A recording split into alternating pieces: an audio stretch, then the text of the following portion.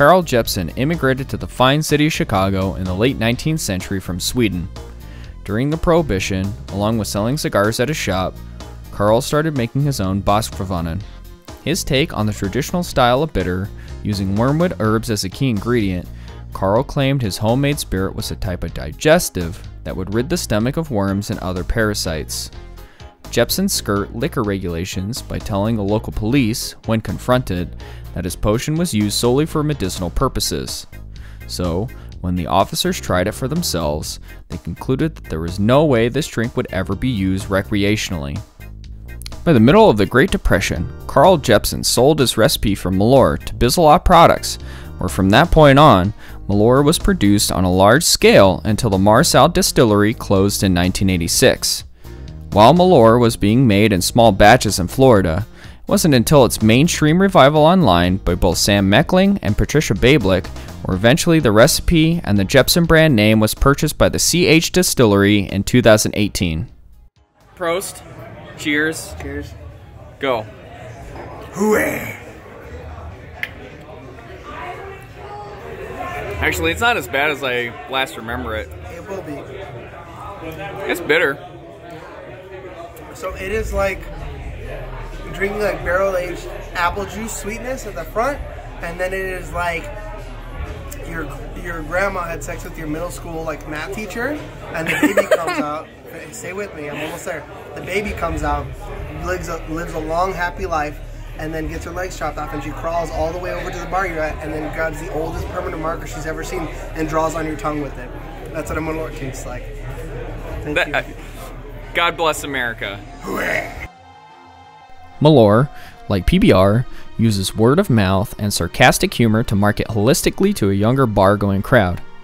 However, Jeppson ups the ante on using its hometown heritage to get people to drink this almost unpalatable liquor.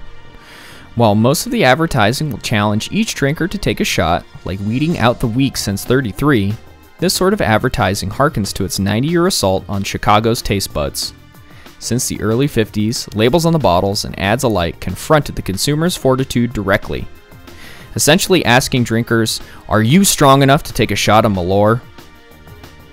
This mentality worked itself into the city culture, and with a little shot in the arm via Twitter, Malor became a cult symbol of the Chicago bar scene. Many people took its somewhat aggressive marketing as a rite of passage. Regardless of how long you've lived in the city, you're not a real Chicagoan until you had a drink of Malor. That's what makes this spirit so special. Just as the city has influenced the drink, Malor has ingrained itself into the identity of Chicago. Its cult status has put it in every bar within Cook County, regardless of what they serve, where they are, or how fancy the establishment may be. What's even more fascinating is that no one denies its overly bitter taste of this absinthe derivative. It's why each Chicagoan takes pride in its disgusting character. It's a statement saying, I've taken a shot of Malor, I've lived the tale to tale, and that's why I'm a Chicago native. While there are many beautiful icons that make up the Windy City, Malor marks itself with a bold, off putting declaration. Its story, its unsavory flavor, and how it's received is all emblematic of the second city itself. We're the underdog. Malor stands eloquently among a baseball team that was cursed to lose for 71 years, and where a city rebuilt itself after a fire allegedly caused by a cow. Okay. Cheers. Cheers, Alex, to Chicago. To life.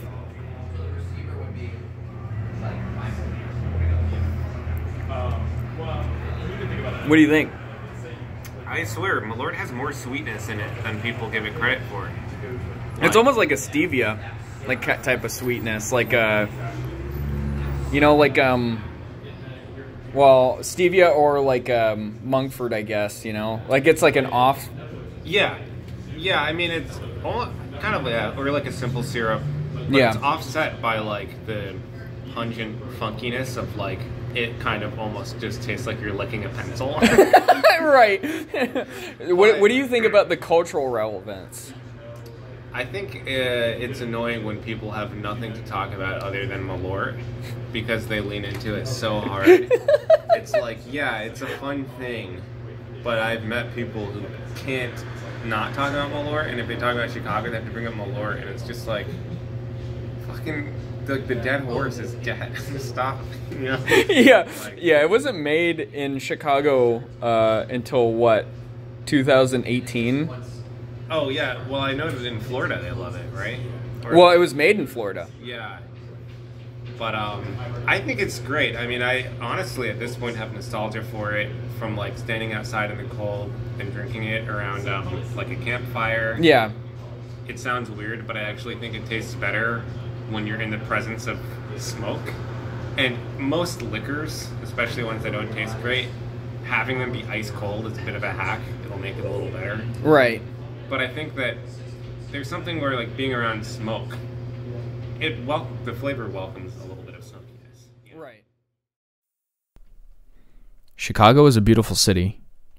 It's home to Wrigley Field, the Sears Tower, the John Hancock, the Field Museum, where Sue the T Rex is displayed, the Art Institute, where the largest collection of French Impressionist paintings are, along with Nighthawks and American Gothic, is kept, the Daley Plaza, with the famous Picasso statue, the Music Box Theater, the Chicago Symphony Orchestra, and Maxwell Street. The lore that surrounds Chicago is immeasurable. From its innovative architecture to classic blues and the start of rock and roll, all the way down to its food. There's so much that makes the city what it is, and the people who live there take great pride in being lifelong residents. While the state of Illinois is vast and has its own variety of towns, no other place shares the same level of pride as the Windy City itself.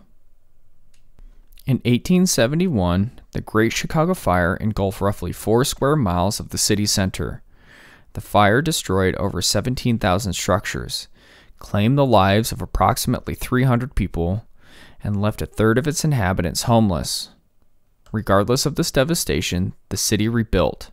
With donations from around the US and Europe, reconstruction efforts began quickly and spurred great economic development that resulted in massive growth in the city's population. Having a new start and increased building standards, architects laid the foundation for a modern city featuring the world's first skyscrapers. A decade after the fire, the population of the city nearly doubled, and within 20 years, Chicago hosted the technological marvel of the world's Columbian Exposition. Whenever you're ready, cheers. All right, Alex. Good to see you. Yeah, likewise. A little sip of Malort.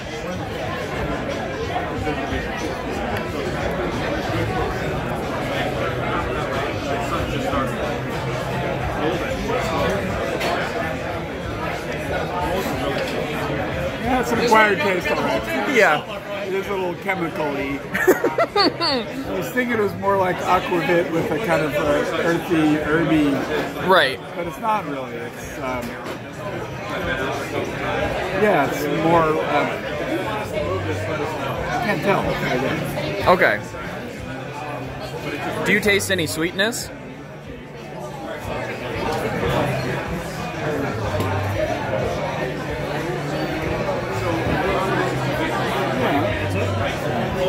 Yeah, packs a punch. It's a lot of- It may not be perfect, but nothing can crush the resilience of Chicago or its people. There's a lot that gives the city its personality and charm. The lore carved itself a niche with ketchupless hot dogs, tavern style pizza, and Italian beef sandwiches. While it may not be the most pleasant thing you can drink at the bar, it's made its statement, and once given the chance, it's honestly not that bad.